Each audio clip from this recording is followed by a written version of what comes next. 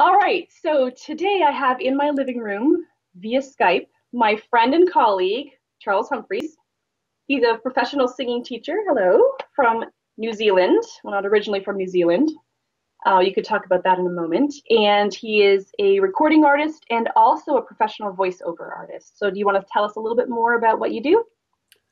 Uh, well, I mean, you you basically said it. You know, I I trained with a an Austrian singing teacher called Mark Hayden for 20 years uh, from the age of 16 and a half. I'm now at the old age of 47. Um, and so for about 30 years, I've been um, literally in the hands of uh, the world of, of classical training. And I teach and have done for about 15 years, um, about 40, 50 students every week and I do voiceovers. I, I, don't know if I can say anymore. I mean, it's not glamorous in the in terms of anything, but it, it's it's fun, you know. Um, what I tend to do is help that beginning student find their natural voice, the healthy voice. I'm I, I go for that kind of idea that most people try and be somebody else because they don't like what they have. When people come into my studio, they come in with shame they don't like what their voice is and they have anxiety because they'd like it to be better. And so my idea is to show them that they have a capacity in the very instant they open their mouth to be healthier. Um, uh, one of the simple things that I do, I mean, I don't know if we want to talk about this, but in the very first instance, I get them to do five note scales. And most people will go in and, and they'll go, ah. And so I, what I tend to do is just calm them right down and go through simple expressions of hi, ah, and show how confident they are in speaking. And then I then translate that into ah, and I go through expression, and then suddenly they start to go, oh, wait a minute, my voice is still the same, and all that kind of stuff. So, yeah, I try and get them to a healthy place so they feel good about stuff instead of having to fight shame and anxiety. That's really, really common uh, with especially with new singers coming in, there there is a lot of that. Yeah, shame and anxiety. That's a really good way of sort of summarizing what the, you know, what their experiences are and how they've responded emotionally and psychologically to those earlier experiences, especially just you know comments that people sometimes make about their voices and mm. and that sort of I always say like sort of a cultural expectation that you're supposed to be able to sing. Mm. Mm. You know, I mean you're almost expected to be able to sing. And if you don't then somehow you feel like there's something wrong with you that you're inferior. Absolutely. And then there's also the cultural definition of singing. So not only um, is the idea singing actually making some kind of melody uh, critiqued but also the thing that you're doing. So the very essence of expression is boxed. And so if somebody is able to express somewhat differently and uh, outside of the outside of the cultural norm, they may not be accepted. And so, um, getting to the point, um, I think it was uh, uh, Dr. Morton Alexander who taught a whole ream of books on the psychology of the voice. And most people, most people, especially in the in the 20, 21st century, and because of the um, advent of recording, when they found that the voices were different, there was this huge um, fallout, if you like. You know, up until about 150 years ago, nobody knew what their voice actually sounded like from an external source. You know, it was always internal. No one could record. And then suddenly the bottom fell out of our egos uh, because we could now hear ourselves. And so this huge thing that we usually go, you know, I wasn't a good singer. Now I know I'm not a good singer because I can hear me. Right. Right. Yeah. I was um what was it in Jerome Hines' book? Is it uh Great Singers on uh, Great on, Singers on, great, on great, singing? great Singing? Yeah. Is that the right title? Okay. Yeah, great yeah. One of one of the singers said that too. That one of the the the worst things that's ever happened to us has been the recording. the, the, the fact that you know, yeah, we have that, and also I know I think we've talked about this before too. That um, just this idea that what we hear on the recording, I mean, it's it's been digitized and it's been compressed and it's hmm. you know it's been sometimes manipulated in certain ways and then when singers are trying to sort of mimic that, they don't realize that that's not actually the original sound that was mm-hmm. going into the microphone and Absolutely. and so that can lead to really unhealthy vocal behaviors because now they're trying to replicate something that has had so much adjustment made to it so many little manipulations mm. electronically mm. and that too i think messes with our minds a little bit because now of course we're thinking oh we need to sound like that but in actuality if you listen to that original singer there's still that the essence of the same singer oftentimes in those recordings, but there are little things, little tweaks that have been made, and and to, for us to try to copy that and to try to um, be exactly that and to get our voices to that point without the aid of electronic manipulation, then mm. you know that leads us to feeling like yeah we're inferior singers and what's wrong with us. That's exactly, right. and I think when we think of ourselves as inferior, it's always comparison.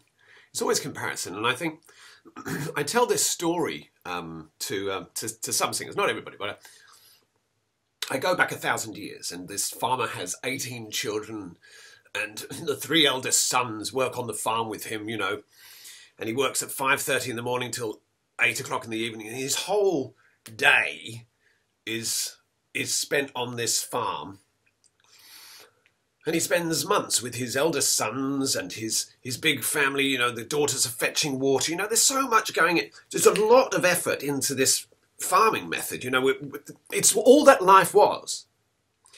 So when at the end of the season, crops grow, they would drop to their knees when they'd see them and they would praise whatever God there was and they'd make a sound, of, you know, whatever. And they would do this and everybody around they wouldn't care what sound they were making. They were literally being thankful that they had food in front of them. And on the sidelines of that film was not David Hasselhoff or Piers Morgan or Simon Cowell or Louis Walsh. Nobody was there critiquing. There was no, you know, they didn't go, hey, Dad, you're not praying kind of well. You know, yeah. the, the hymnal, the hymnal you're doing, oh no, I, a bit pitchy. Oh, you okay, dog? You know, so we didn't. It's true though. you yeah. know, I mean, and, and, look, I mean, I find this even. Uh, I, I find this bizarre. Louis Walsh, the guy who uh, did Westlife and and Boyzone, uh, he was the uh, producer manager. When he's on X Factor and he says these words, he says, "Oh, you hit all the notes." Like that's amazing. No, I, I, I, that's not saying if you if you don't hit all the notes, I'm going to criticize you. But what it means is that why is that the standard? We seem to feel that if we hit all the notes, that's the good voice. And so what we tend to do is make that our goal. Ah, I can hit that note. Ah, yeah, great, you can hit all the notes. When really, what what people don't know it's it's I don't want to say it's complex. It's actually a very beautiful thing that if vocal health is put first, then the fruits of vocal health are resonance and pitch, um, great breath, all that kind of stuff. So if, if, if, if you and I were on the X Factor or America's Got Talent or whatever it is, and we were sitting on the, the sidelines, probably we would make a different judgment. It would be, I love your tone. You've got great health. Or maybe, do you know, you sing well. Maybe have you thought about looking at improving your health? So what we're doing is instead of saying, hey, you fit the box, could you get all the notes? We're saying, hey, look, you know, you've got something there. Let's work on that. Rejoicing mm-hmm. in their current capacity. Go Sorry, I was going to say, I just because because as singing teachers, we learn to listen functionally we learn to listen on a functional level and that's how we train our students mm. But but you're right they're not really trained singing teachers. Um, you know so they can list they're listening aesthetically. Mm. and that's why i always say function before fashion. Mm. because if you don't have the function down then it's this sort of cheap veneer that sort of falls apart and and just eventually that veneer is just like people it, it, yeah it just doesn't last. It's not something that's going to be sustainable necessarily over time. I mean for a few robust voices it might be but you have to have a healthy functioning instrument mm. before you worry about the aesthetics and when you get the function right everything else starts to fall into place mm. but that's if you're right. focusing i would say cart ahead of the horse right if you're focusing on the aesthetics and not worrying about the function that's when it falls apart. And that's when you really get nowhere. Absolutely right, and I think it's quite interesting. You should um, talk about this cart before the horse because um, no, I've got the, I've got my microphone here, and I, have I've been recording what we've been saying, and I'm hope, and what you're going to see in a moment. Uh, look is look. I have a reasonably healthy voice. You know, I know I get tired. Sometimes I stay up too late and I get that really in the morning, on, voice or whatever. But generally, I have a, a pretty good, healthy voice if you have a great mic, this is a great mic. This is about 2,000 uh, New Zealand dollars, so about 1,500 American dollars worth of microphone. Now over in the corner you can't see this, but I have a compressor. Uh, and the compressor has an equalizer as well, so I've got my uh, all the best nuances of my voice being listened to right now on this microphone uh, compression, which enables the voice to be leveled out, is there. And not only that, the microphone itself has anti-attenuation. So if I do anything that's of a high peak like this, the microphone's going to say, oh, that wasn't quite the level of the normal things, and I'm just going to squash that tone. Um, and so there's a lot of things helping us today and helping the modern singer that, like we said, like you said in the beginning, we get this idea that uh, we want to do all those things that that the, the, the modern singer does. And uh, I think I showed you this before. That, you know, here I am away from this microphone, and just if I get closer and closer and closer and closer to the microphone, suddenly the voice changes and you get this deep nuance. Now, you'll hear that in the recording, of course. But just getting closer and closer and closer and closer and closer picks up the nuance. So you may hear a singer who sounds really amazing. So you have, might have a breathy voice and goes, hey, baby. All right, but if I go, hey, baby, like that, I mean, it's a really crap sound. But if I go, hey, baby, right up close to the microphone, he sounds like he's got so much control. He sounds like he's got depth to that really weak falsetto. You know, ooh, sounds perfectly nice. But if you go, ooh, suddenly that sound's got depth because I've just moved closer. Right. So I can be a thin sounding, uh, and, and, you know, I can sound passionate. And if I if I'm this far away from the microphone and I go, "Hey, baby," like this, yeah, that's a little creepy. I might, uh, yeah, it's a little bit creepy, but I might sound sexy. But if but uh, if I do my Barry White and I go, "Hey, baby," suddenly. And you'll know when you hear the back recording, you're going to go, "Oh my goodness, he sounds really good." And look, Frank Sinatra knew this, but he didn't have a compressor there was no compression on his vocal. So he would move closer in the quiet, move back on the loud. Matter of fact, you can listen. To, he does a does a number of songs. There's quite a number of songs you can do it. Um, all or nothing along. No, sorry, all or nothing at all. Five dollars more. Uh, five minutes more, not five dollars more. Five minutes more. Where you can hear him moving back and forth, but the microphone distorts. Mm. And that was perfectly acceptable because they had no other way to cope with it. So what you've got is this voice and the um, probably a ribbon microphone of the day, not one of these um, cardioid or, or um, diaphragmic microphones, but the, the ribbon was this, basically the was this flexible thin piece of I think it was copper I think it was copper. I think that's what it was. But it was it was a ribbon, and uh, it would just be flexible. Would, that's what what we'd today we'd call the diaphragm. You see, of the microphone. Right. We'd, we'd, it would pick up that vibration. but anyway, I mean, I'm not technically minded in that way. But anyway, the the point was is that he was this. He'd get very close, and then he'd move far away when he was singing very loud, and so different to today. You really did get the singer. You really did get what was truly the voice I, you know, with compression, you can be this close to the microphone, and this little whisper sounds as intimate as this really loud voice. Uh, and that's that's not skill. When I'm performing live and I'm performing jazz live, which I, don't always do, but performing jazz live, the compressors go off. So I can use my handheld mic because that's how I was trained. My singing oh, teacher yeah. didn't have my singing teacher didn't have a compressor, especially didn't have this compressor is about three thousand dollars. You know, this thing's state of the art, four valves, digital.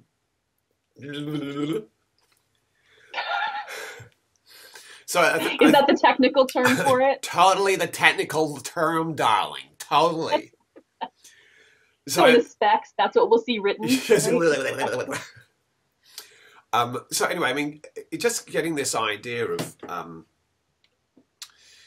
shame and anxiety, mimicking as opposed to being real, um, the digital as opposed to your analog, really you voice, we start to build a picture where the essence of you is lost.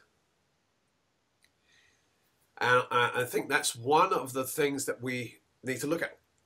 We speak about true expression today.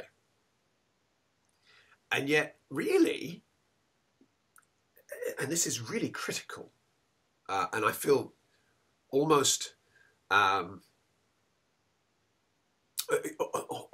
there could be a lot of criticism for what I'm about to say, but I don't think, I think very few people know who they are vocally. I would agree. And, and I think. So I was just going to say, sorry. I was just going to say that when you said that the you know the the real like the essence of us is lost, it almost reminds me because you made fun of me earlier for putting lipstick on oh, in preparation it. for the camera. right, right. I didn't but, put mine on. You know, and yeah, but it's almost kind. Of, it kind of reminds me of you know when we touch up video uh, pictures and such. And I mean, it's gotten to the point now where all of that software is now built into even our our phones, the mm. cameras in our in our phones, That's... where we can oh we get rid of the red eye, oh we can we can make my skin look a little bit softer, we can you know, and we have that option now. And you know, of course, there's the whole airbrushing controversy with models and what have you, but it's true. It's almost that I think across so many things in life, it just from from the voice to the visual stuff to the marketing, the photos and what have you, there's almost a sense that we're we're not even real anymore. Yeah, I like this idea of thinking of us. I don't like the idea, but I like the concept of of viewing ourselves as not not not real anymore. Yeah, so this idea that we we lose uh, us, um, and like you say, everything can be digitally touched up or whatever. Um, I think that's where examining natural human inflection really helps. Um, when you really examine who you are in an emotional situation. My favourite one is I talk about a boy, and I, I call him Tommy. And Tommy is a cheeky little boy. He's five years old. He steals a bit of cake at a wedding and he runs off. And there's lots of people at a wedding. This is the kind of idea that I conjure up in people's minds. And I say, now you go off and try and search for him because you're trying to find him. You find him behind a door eating this piece of cake like this very cheekily. cheekily. And you, and you go, ah, there you are. Mm, ah. And this is, this is what I like to do is to get to this point of how would you actually be in a situation where there's no audience, but there's true love or true anger or true uh, concern or there's finding that boy. Most of the time, what we do is that we we play to the word in the song, for instance. So, um, so we allow the word. Oh, let's see. Um, what's a good example? It's a good example. So, um, I can't, you know, I know so many songs, and here I go. So here we go. The, the song I'm singing tonight, um, almost like being in love, right? What a day this has been. What a rare mood I'm in. I've got this kind of, I'm hoping that you can see that. I'm kind of, I'm free with life. What a day this has been. What a rare mood I'm in. And I'm really overjoyed.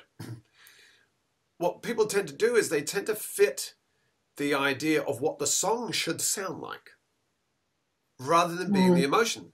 So you get a lot of modern jazz singers going, What a day this has been. What a rare.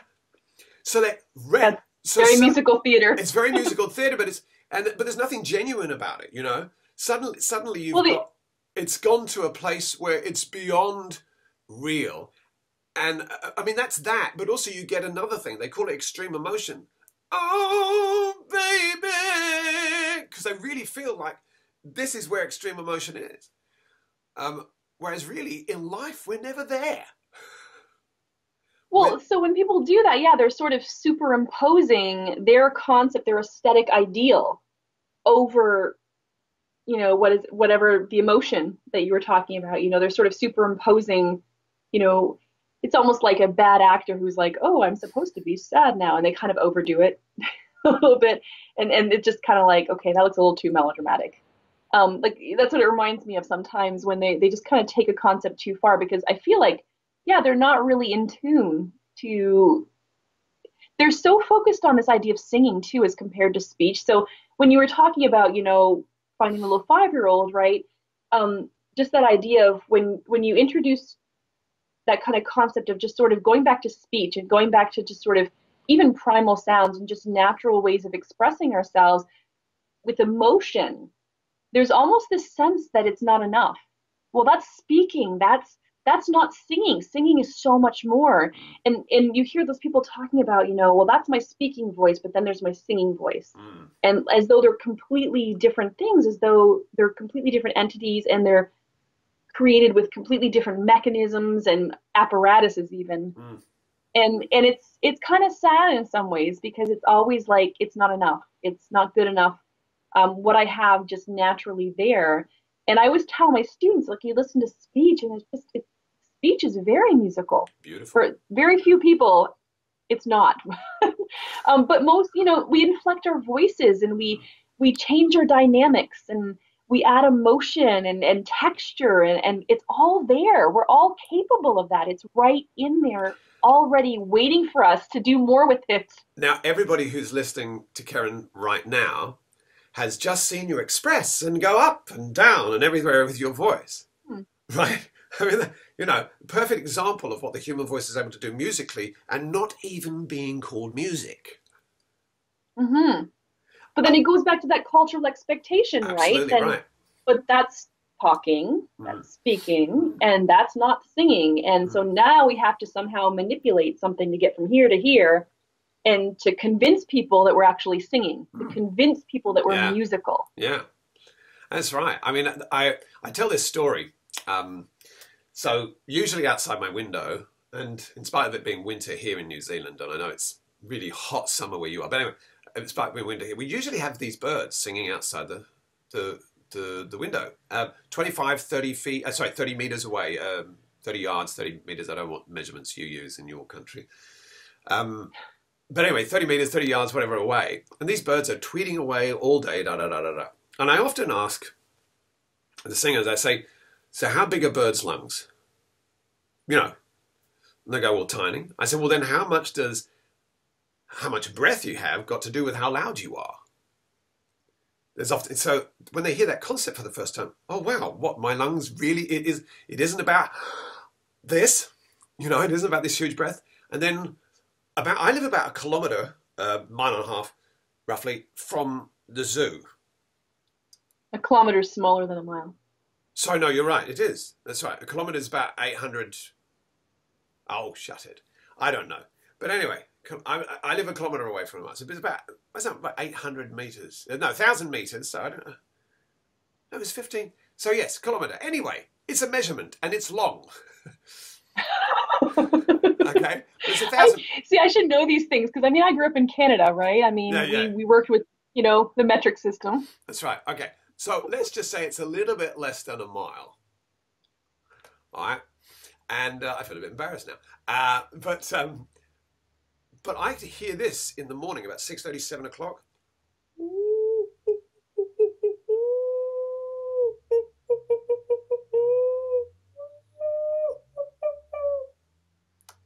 The gibbons in the zoo. Oh. And, and they're asking for food. Now, I often tell this story. A kilometre away is the gibbon. And I say, Mr. Gibbon knows me very well. Oh, I live, I live on Chilka Street, a kilometre away. And he wants to wake me up. He, he does that just for me. Now, when I tell him the story, they laugh. I said, look, what are the chances that Mr. Gibbon know me? I mean, it's kind of like zero, right? He's basically saying banana orange, 6.30, 7 o'clock. It's food time. Can the zookeeper now pass me banana orange? Hey, everybody else in the in the zoo needs to know that banana and orange time is coming. I mean, that's about the extent of it, right? It's breakfast time in the zoo, banana orange. So he's no way in, in the world does he really do that for me. So I get rid of this whole idea about the voice being um, that doesn't mean to say I don't believe in techniques or methods, but getting rid of the idea that there's so much more to be done to be heard, that you have to have these huge lungs. Mr. Gibbon doesn't even think of me and he's heard. He's not even projecting and he's heard. He doesn't think about, oh, is my diaphragm descending? Is my larynx low? Um, uh, he doesn't even think those things, and yet he's heard. Um, and of course, the acoustics of the hills help, of course, in carrying that, that voice. But we know in jungles. Maybe he knows that. Oh, now, of course, he knows that, of course. Of course. Hills, mountain. um, so, getting away from this idea of singing be, being absolutely conscious that it, it, you can be allowed to do. You know, I, I tell the story about the guy at the airport. He, you know, you haven't seen him, the girl at the airport. You know, Joanna's at the airport and you haven't seen her for two years. She's one of your most important friends. You go, hey, Joe!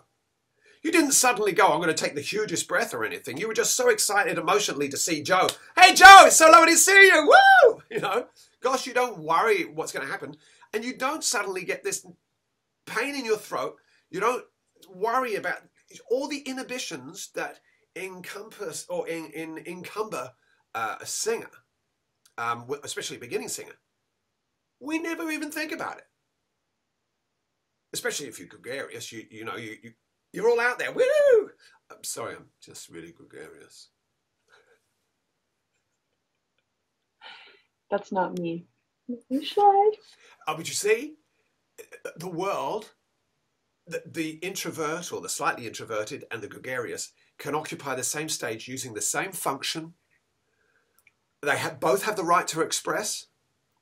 Both can, uh, can, can, can use that same voice and be themselves, both introvert and extrovert, and have the right to express. And yet, there's so many singers, I have quite a few, who come in and say, oh, I, no, that can't be possibly me. I can't possibly put that out there. And I think that's more yeah. the cultural world we live in. That's why um I I get to thinking about this with my own kids and just um I was saying to my nanny the other day I was just saying you know at the dinner table um my elder daughter she um she just started breaking out into song. And we've been current like obsessed obsessed obsessed with the um Tuck Everlasting soundtrack the Broadway soundtrack. It is hmm. so good. Every song on there is really really good. Cool so she was just singing like every word of it and it was so cute because I've never really talked about singing technique or anything with her. She just turned seven, not going there at all with this, but um, she she was listening to the sort of musical theater quality, the twanginess and what have you, and the way that she was saying her words was like, oh, she's getting technique, and I'm not like, you know, I was really excited about this, but the fact that she just would just at the dinner table, she was eating, but she wasn't, and she just starts singing, and she just starts singing, and then next thing you know we're singing a duet. And then my young my younger daughter joins in. It's the three of us all singing together. And there was no, yeah, worry about like, oh, my husband's listening and my two sons are listening and and you know, there was no worry about that at all. And I, the more and more I think about it, I'm like, that would be a great idea to start teaching kids because you get them before they start getting all of these weird ideas in their head, in their heads about, you know, oh, I have to sound a certain way, or I've got to, you know, do this and manipulate and do what, whatever. You you grab hold of them and you say, listen, you're enough. Mm. Your voice, the way that it's designed and the way that you use it as expressively as you do, that's enough. Mm. And you you get that in their heads from the start you don't wait until they're in their 20s or 30s mm. and they decide I want to start singing. But now they have all of these obstacles inside their heads they have to overcome first. And maybe I should start teaching children. I think I think one of the things I mean I I, I don't specifically teach children myself for that kind of very reason um, that a lot of the children that I used to teach, I stopped teaching children because what I found was, well, there was a couple of things. One, I found that children didn't really practice um, because of their family situation, usually. Uh, two, I found that singers who invest financially in it are more likely to, to do the practice. So children very rarely have the income and they don't get that idea, um, especially about the voice. But but one of the things I I encourage mothers and fathers to do is to actually turn off Rihanna. I tell them to turn off that stuff, and not because I don't think. I mean, gosh, I mean, I like that track with Paul McCartney and Kanye West, and you know that uh, that track that she did. Uh, seconds of wine, and I mean, I love that track. Fabulous, fabulous track. Even though vocally her health is terrible on it. But anyway, That's me criticizing. Yes, I did it, everybody. Yes, go on. You can slag me off on YouTube. it's fine. I am used to being slagged off.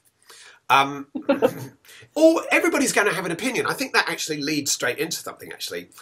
Everybody's going to have an opinion. Someone will not like me. Someone will not like me. And there's a brilliant Australian comedian called Steve Hughes. And he said this brilliant line. He said, um, he said, Oh, someone just said something rude about your Lord. And he said, I was offended. And he said, So what if you're offended? You're not going to get the plague, you know. You're not going to wake up in the morning and your limbs are going to be removed because you're offended. You know, he said, I get offended by boy bands. um, so this idea, we, you and I, Karyn, are going to be criticized, criticized for teaching some things and having a belief. That's okay. I have tiny but reasonably broad shoulders, and this stuff is just going to wash off. And I think what we do, there's two sides. One, there's only two things you need for an opinion a thought and a mouth. And so when our children get told, oh, you can't sing, there's a, there's a woman, I teach her, won't say her name, she's 35 years old. I've taught her for two years. And in a two year period, I've hardly been able to get a sound out of her. Because at subsequent times, from the age of 10, she was told to be quiet. She made a terrible sound, both by parents and within the church choir and everything else. And throughout that time, and you know what she did? She openly admits, I mime. I mime because I sound terrible. And you, you know what's happened, don't you? What's happened is that that has actually gone deep into function. So when she tries to express, everything's caught up. Bit by bit, we are slowly freeing. But it's really slow because even within the in the walls of a house in which she lives on her own she finds it hard to express. That's how powerful one words are that it, it, it sunk so deep so deep that even at 35 when you imagine this mature woman surely capable, lived 35 years, you know, I won't tell you her profession, I don't want her to be identified, but she's very intelligent. And they send her out all over the country to do investigations. intelligent woman, very, very capable, great capacity, incredible mind, huge standards in, in her life. You know, she's got great core values, can't utter a sound. We need to shut up. Um, you know, I'm going to be honest with you. I mean, I was given too much. I expressed all the time. Um, um, so it made me a verbose, loud, obnoxious individual to be around, and it's taken years even to take the crust off the top. Um, there's still a lot of beef on the inside, um, I, and you know, that, but that's a typical experience. Um, my own family, my four children, my wife also sang as well. Um, they get up in the morning and they have over the years, at certain points, it isn't every day, done sirens. Ooh. Or, or they've done things that I've done, like I do a bop exercise, you know, a laryngeal kind of like uh, bop, like this. I've heard them do that. I've heard them do my scales. They've gone, all this kind of thing. And they've done it willy nilly. They're not even trying to practice. So I think my girls do that too, especially right. my my now seven year old. She goes around singing scales. She gets them in her head and she just starts singing them around the house. And my um he just turned nine. Um, my second son, he um he started doing lip rolls and stuff because he asked me one day, he's like, why can't I sing those songs? They're really high for me, like you know, even even at his age, you know, pre voice change. And he's like, that sounds really high. I gave him that tool. I'm like, hey, can you do this sound? He just started doing some lip bubbles and he was able to go up quite high in a siren. So now he actually practiced. I don't I don't force my kids to learn singing. I'm not putting them in that spot at all, but I let them vocalize as much as they want to, and they will. They they do tend to like pick up on those things. Exactly right. And that's quite funny, you know, because um, I've just started to teach my 16 year old some slightly more serious stuff because she's in that she does a, she's doing a musical part of her course and one of the things that i got taught for years was thinking down in the boots that there weren't, weren't any high notes that every high note was down in the boots so it's rather like this idea of the sob or a deep cry you know so anyway so anyway what, when she went to school and starts talking to the other children she just oh she goes just think down in your boots just go to go just go and find it out just, just, and uh, the thing is, is that we could. Um, I mean, one of the things that David Jones says, Maestro David Jones, um, who teaches in New York, he, he says that you can't copyright the voice. You know, there's no copyright on this. You know, um, it is what it is. It's built well before anybody had a patent on it. So, this idea of singing being a secret method is crazy. We should be expressing and giving uh, our voices love, you know, uh, uh, like almost coddling them and saying, Oh, you're so beautiful, we love you, voice, you know. Um, my children go to a Steiner school, and in the kindergarten, um, I don't know if you're familiar with Steiner education, but anyway, the um, in Steiner education, they have this these words. It's almost like reverence, but they call it awe and wonder.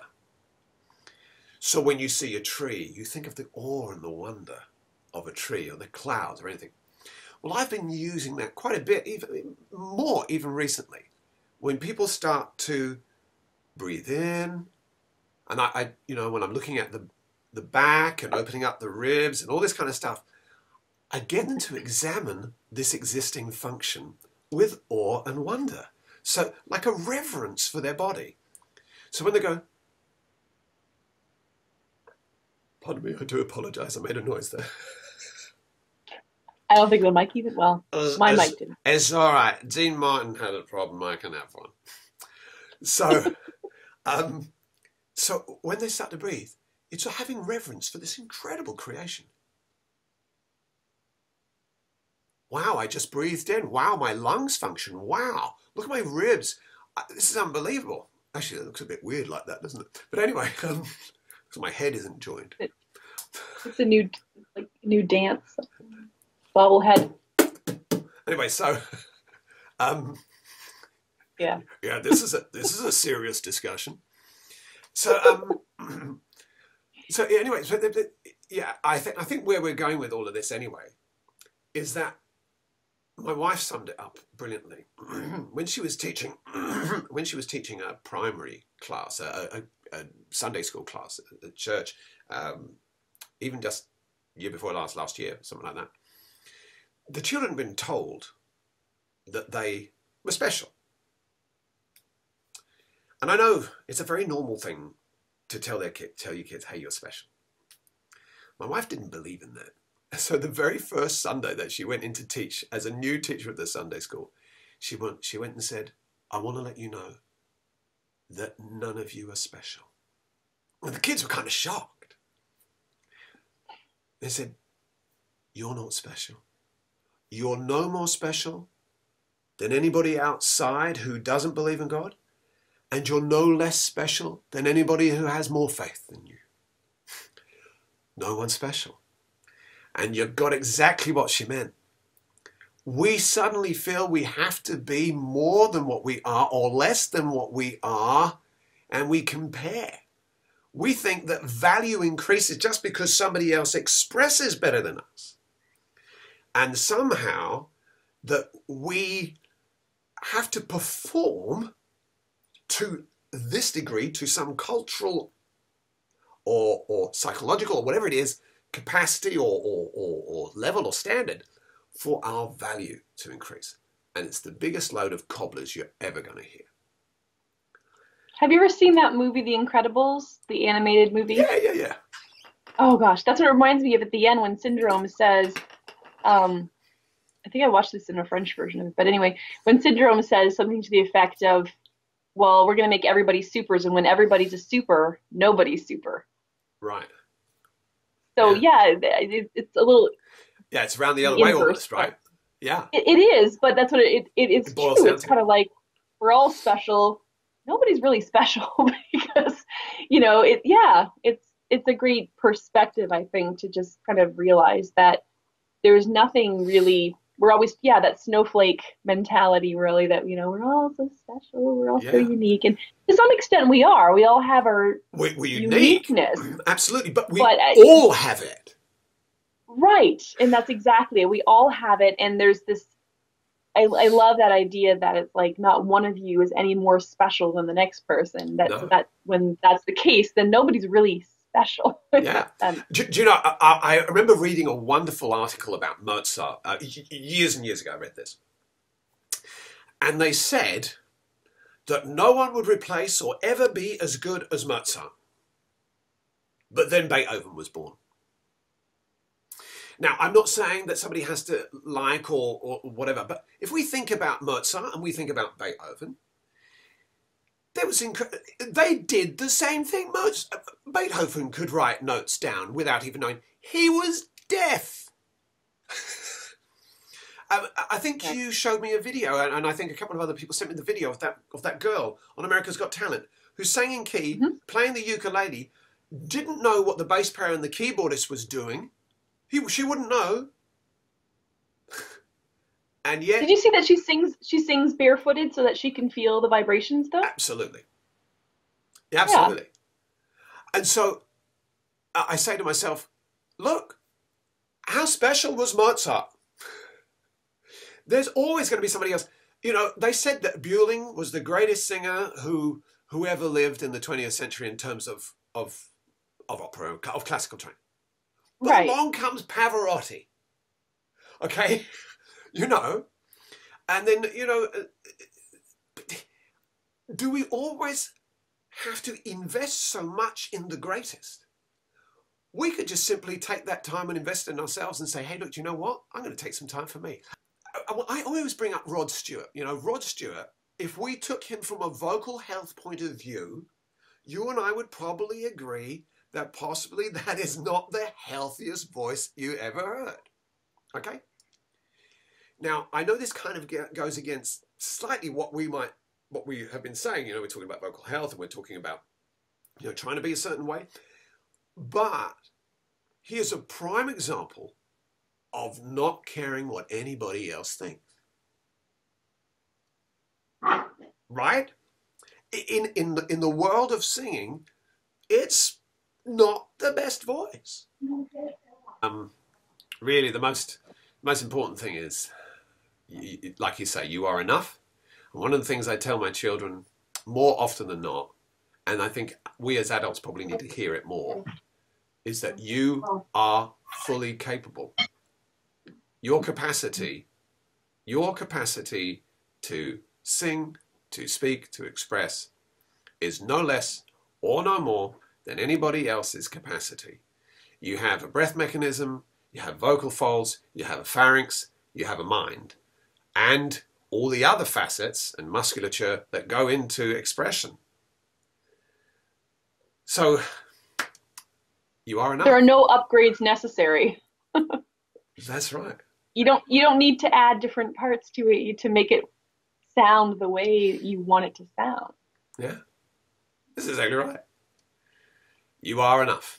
And um, I think that's really the lesson. Um, you know, from from from the microphone to to the uh, to to to your self talk, if you like, you're you know being self aware that you are really enough. All right. So the original plan was for us to discuss mic technique, and I know we did discuss that a little bit, but we got off on a little tangent. But I think it was a really great tangent. I think it's stuff that singers really need to think about and really consider, especially singers who are new and who are just starting now to explore their voices, just to realize that they've already got that built in. The factory equipped them with every single thing that they need in order to be able to make beautiful, expressive sounds. And so I want to thank you so much for joining me today because it has been a great discussion, as all of our discussions are. Um, really gets us thinking a lot about our voices and just again how we think about them. Is there anything that you want to say in closing? Yeah, just one last thing is that you know you spoke earlier on, you know, you put the makeup on and everything and what have you. But in Skype calls, we're not airbrushed, and I think we look amazing. Oh, thank you. hey, Karyn, lovely, was, lovely speaking to you. It was really nice speaking with you. Thanks for joining me. No problem. You okay. take care. See you later. You too.